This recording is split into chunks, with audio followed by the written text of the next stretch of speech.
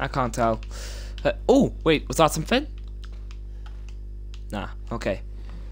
More handgun ammo. What's in there? You. Yeah!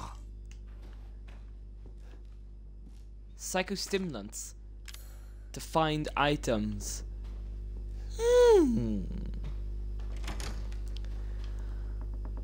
What an interesting place.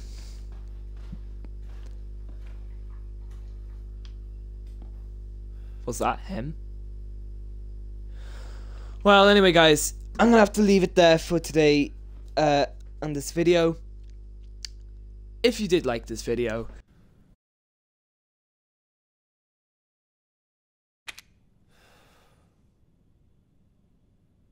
right, as I was saying, sorry about that.